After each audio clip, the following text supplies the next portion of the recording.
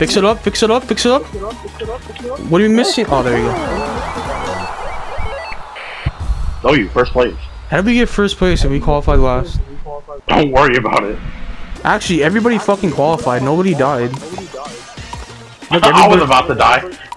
you almost threw the game. Literally, the whole lobby qualified. Look at that! No eliminations as well.